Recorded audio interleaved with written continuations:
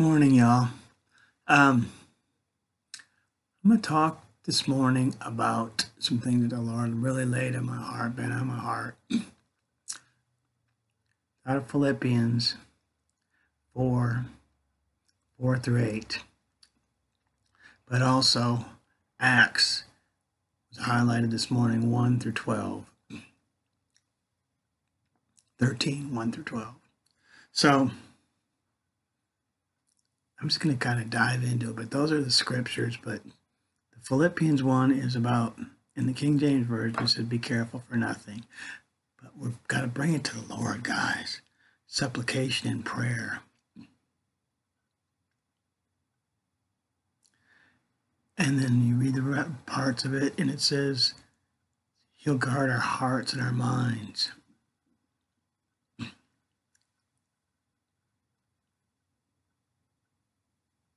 Why? Because he wants to be in tune with him. We've got to get back, guys. And then a little bit earlier on, which is in 1 through 4, but it talks about the book of life. Their names are written in the book of life. Well, guess what, guys? You got a book of life right in front of you, the Bible. It's a living, breathing word. It's not the book of life, but it is one of the books of life. And it is. It's full of life and that much more abundantly. That's why the prayer is so important, guys. Bring it to Him. We've got. I'm not giving this country back over to the over to the enemy. Okay, I hear this. This this is the lamest argument I've heard. That we're all like, I'm not following Trump because of he's beating a drum. I'm standing with him on the abortion issue, guys. That's the main one. I'm standing against the evil that's trying to come. They say, oh, all lives matter. Well, no, they don't. Just theirs, the power and the greed and the money. Quit lying to us. And Why are we? Why are you believing it anyhow? Not politicizing this. I'm saying that's why I'm taking a stance. And it's not even taking a stance. I'm praying. I'm bringing it to the Lord every single day in prayer and supplication, and you should too. And that's how we're going to win this battle. Not in the courts, not in the election, but at the altar, on our knees bringing it to the Lord. Because, yes, I mean, look at it. If, if, if any lives matter other than theirs, no. It's they're already wear a mask, lock you down. Care about your business, don't care about your life, don't care about your families, don't care about the living or the unborn. All they want to do is stay in power and make their millions. It's a handful of people. Why are we letting them do that? Instead, everybody's saying we're following Trump or whatever. No, I'm not. Listen to my message about him winning in the landslide. I said I'm not necessarily a Trump fan. I'm just standing because I know where he's standing on the abortion issue and the lives that do matter. And he's standing for the Christian values. You say anything about being a Christian, now it's now, you know, it's like being an open target. Oh well.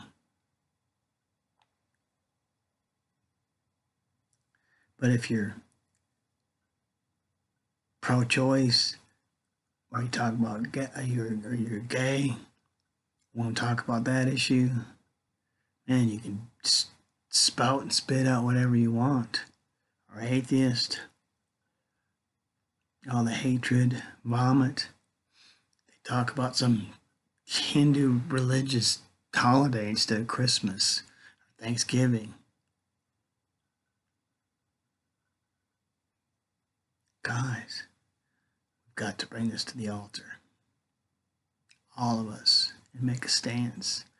We, one of my messages is we've missed the whole reason behind Daniel and lion's den. It wasn't to save his butt from getting destroyed by a lion. It was to change the nation. Meshach, Shadrach, and Abednego, the same thing. Our God is able, even if he doesn't. King saw four, not three. Change the nation. Want to change this? Want to change this nation in this equation? Pray, seek Him, supplication and prayer. He'll guard your mind and your heart from all this pollution and give us direction. God, Jesus, the Holy Ghost, and His Word. Come on, guys. Pick up your Bible. Let's get this done. So we love you. Um, I'm going to make this short because I've got so much to do. I will give you some things, okay? Because the enemy's trying to wear the, out the saints of God. Okay? Just going to give you some examples, and you, I, I guarantee you that some of y'all listening have some very, very maybe not the same things, but just the weariness.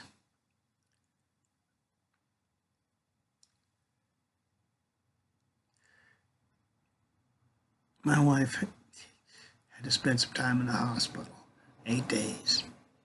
Okay, just dealing with all that mess.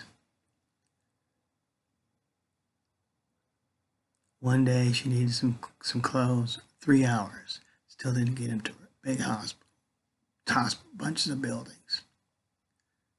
The next day, start at 7.30 in the morning. You know what time I got her change of clothes? 5 o'clock. And wear me out over something simple. Rules and all this other stuff. Well, that became a message though, guys, because I was down there. What should be ground zero with the what they're portraying, what they're, what they're lying to us about, which we all know, but it's like right in your face, blatant. Big hospital chain, 20 buildings, some of them dedicated just for cancer. Huge buildings, Dallas, big, uh, big, big city, big hospital.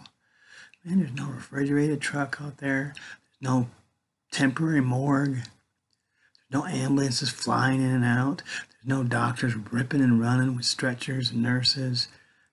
Worst that happened was some young security guard yelled at me for crossing the red line. I'm like, dude, I didn't even see the red line. I'm just walking in the building. More about wearing your mask.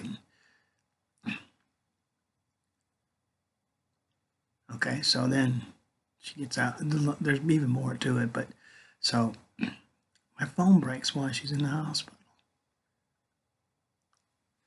The fifth one, guys.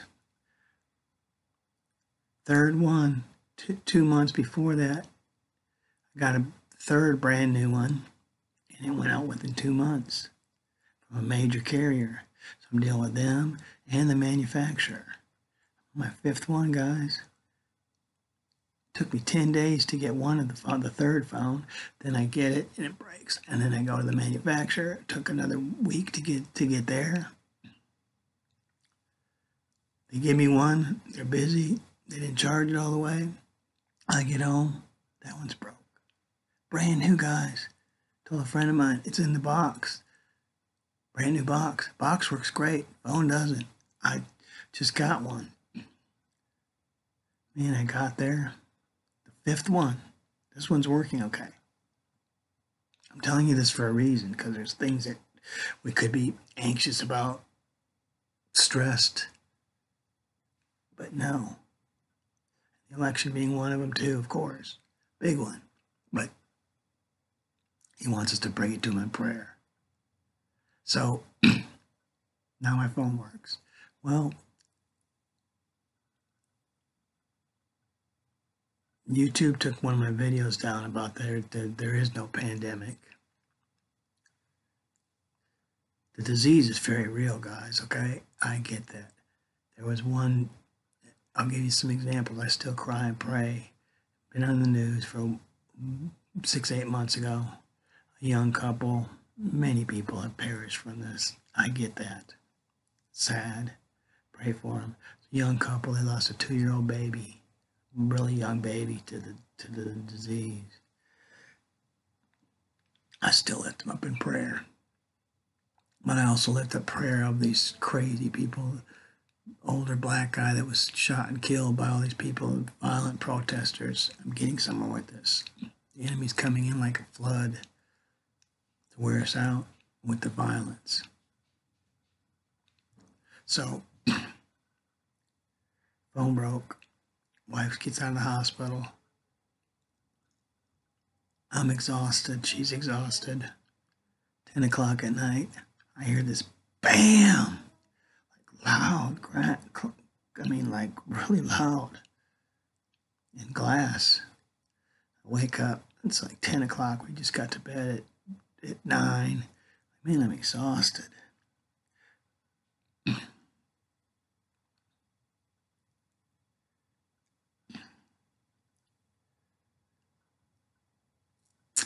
One thirty in the morning, I'd see all these flashing lights. Cop. Well, I didn't know it was the cops, but I thought it was the ambulance. said, well, I live in a neighborhood where there's a lot of old people, so I was like, man, I'm just gonna pray for these people because my neighbor's 80, the lady next door is in her 90s. They've all got health issues. I hope nothing's wrong with any of them, you know. So I just prayed. Went back to sleep. Get up next morning. A guy in a stolen car that was stolen two weeks before hit my car, parked in front of my house. That's why the police were there, Dallas and Garland. They chased him. Guys, he hit it so hard. He didn't knock it into my yard, into my neighbor's yard, two houses down, and it hit a parked car and pushed it out of the way and spun around and was in the middle of this guy's backyard backwards or whatever. That was on the third. What's today? Insurance company's just now towing my car.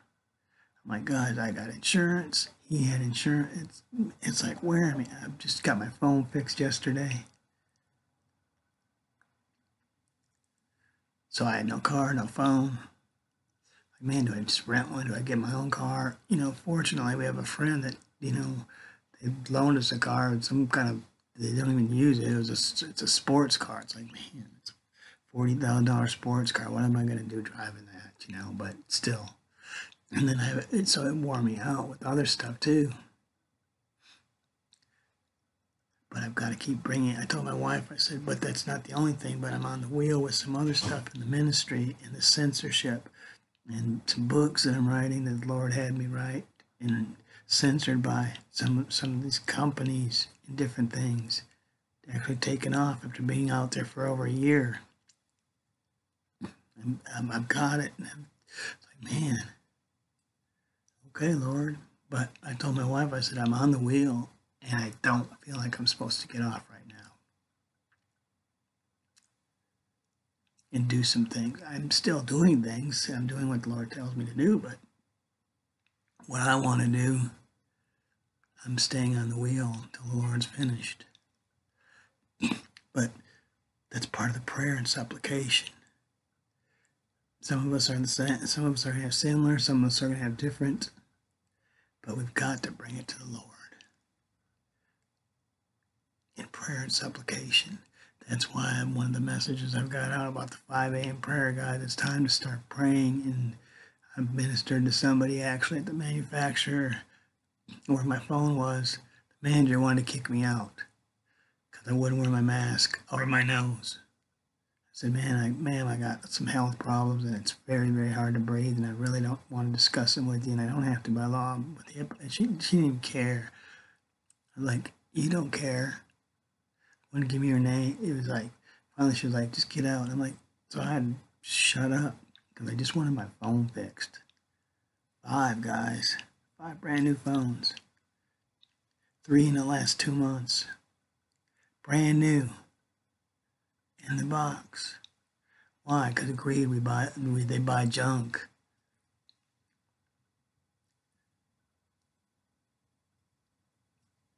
Shove it off on us. It's happening all over the place, guys. So, but that could make you anxious. But we just, you know,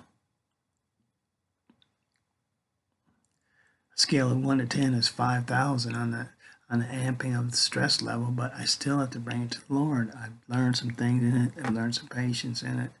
My phone's fixed. My car's not yet.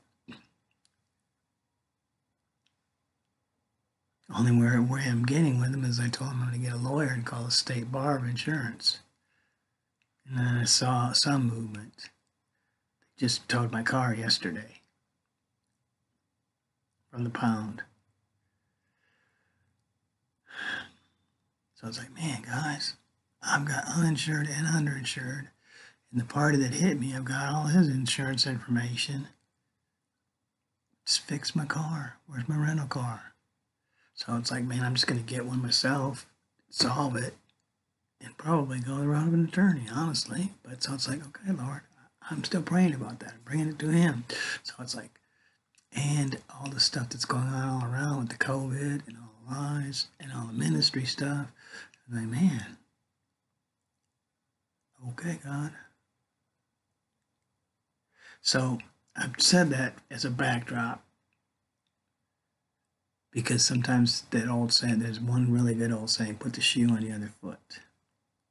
So walk in somebody else's shoe. I'm not looking for even empathy from you guys or anything. I'm using that as an example to say there's some things that people are going through that we may not even be aware of. But when we go to bring to prayer and supplication before the Lord. The other one is, I think it was Eisenhower the buck stops here. It was all about personal accountability. And that's what the Lord wants from us. And you're going to get it in your early morning prayer or whenever you can pray. Back to, well, back to, you know, that I ministered to this kid at the manufacturer when he got a new phone. And he was a Christian too. So the Lord still worked that out. Steve had to die out a little bit because I was really, really mad, frustrated. You would be too. Because I pay for this every month. I just wanted a phone that worked. That was all, guys. But he's trying to wear us out.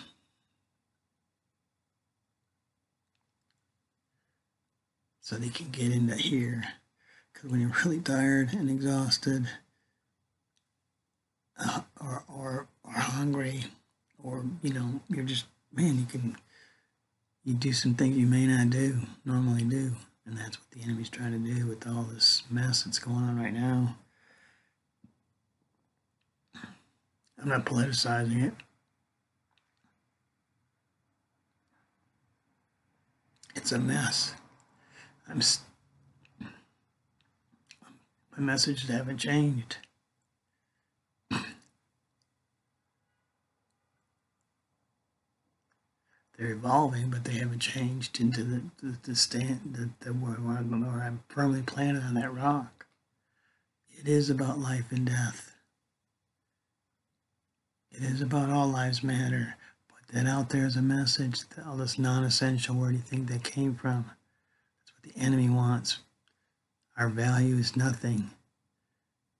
Well, guess what?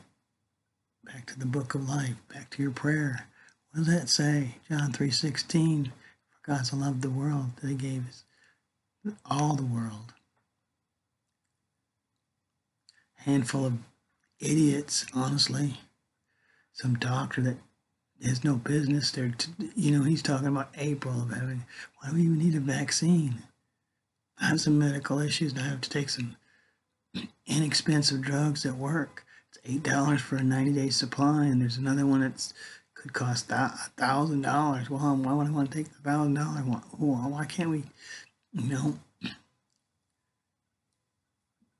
This is a little bit straightforward, but what killed Chris Cuomo, Tom Hanks, Paul Rand, or even our president? Nothing. They all got they all got over it. Yes, I'm not mocking or belittling those people that have died from it because it's sad. That was somebody's parents, children, mothers, fathers. not good. Hurtful. But this fear based nonsense, not good either. Like I said, it's all for a handful of people. It's one of the messages I got, but I'm going to throw this in there. It's the GMO. Give me all your glory, money, and your opinion doesn't matter. Just you give me your obedience. Wear a mask. It doesn't work. Look at them. They're two bucks at the store counter now. They're cheap. If you wear a bandana, people don't say nothing. Bandana, guys. Come on, give me a break. And the best you can do is um, over a year later, or almost a year later, still nothing except for how worse it's getting and getting and getting. And then you try to blame the president that he, his inactions or whatever. And, and so, okay, great, fine, point the finger. But what have you done? Dr. Fauci? nothing. But create more. If you, there's any truth to how this all evolved and started, man, you should be the one that should be out behind the woodshed. And that's saying it lightly. Guys, we've got to bring this before the Lord in prayer and supplication so that we get divine Holy Ghost filled direction. Or we're going to be locked down and destroyed as a nation for the greed of a few, power trip of a few. Do you think some of those people, do you think they're going to miss a meal? Look at one of the posts. All those major companies, their profits are up 100%, 80%. They're making money off of this while others are suffering, losing their whole livelihood. And being locked down. Look at all of it. Look at how crazy and evil a lot of these mayors are acting and governors and just like dictators. Right along the lines of Hitler, guys. serious. So how are we going to break this? We're going to break through in prayer, supplication, and bringing it to the Lord and watching Him move because then He'll get the glory. Not Trump, not Biden, not some crazy lawyer, elected official, whatever. No, he wants the glory. That's what, what my message was. He's going to do something about this if we ask him and bring it before him in prayer and supplication. Instead of barking on all these social medias. Everybody wants to be a prophet or apostle in this. Say something that, man, when I read the job description, Take up your cross and follow me. Why would you even want to be? Unfortunately, a lot of them aren't. Some of them are, but a lot of them aren't because it's all the same thing that ties in with the. It, it's not the fear stuff, but it's the sensationalism of it.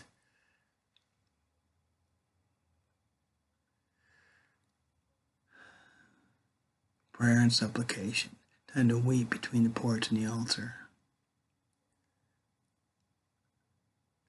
5 a.m. prayer, and the reason why there's such an importance to that is because A, 5 is the is a sign of grace, but B, it's quiet. You can turn off your phone, your tablet, your computer, whatever, TV, get a hold of God. Your wife's not up, your husband's not up, your kids aren't up. And some of you, that's one of the kids I witnessed to yesterday. Well, you know, he can't because he some of the, he I forget what he was doing, but he's got some work constraints on that. You know, he he can't at five in the morning. That's okay.